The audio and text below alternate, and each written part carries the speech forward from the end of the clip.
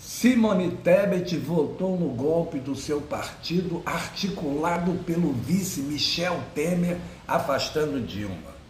Senadora Simone Tebet, na sessão do impeachment, aspas, voto pelos crimes de responsabilidade fiscal de Dilma em 2015, fecha aspas. Segundo o próprio blog do Senado, Dilma não cometeu nenhum crime.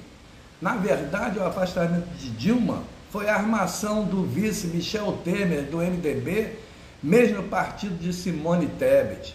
Dilma, antes de ser deposta, enfrentava a fúria do MPF, que a processou em nome dos acionistas porque mantinha os combustíveis baratos. Não os dolarizou.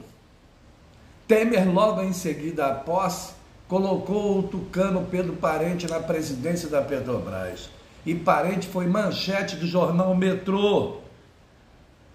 Parente tocou fogo no país dolarizando a gasolina. Depois, como parte do golpe, Lula foi preso sem provas, num claro intuito de beneficiar Bolsonaro e para que não paire dúvida do conluio criminoso entre o ex-juiz Sérgio Moro e Bolsonaro, Moro recebeu o Ministério da Justiça e a promessa de ser indicado ministro do STF.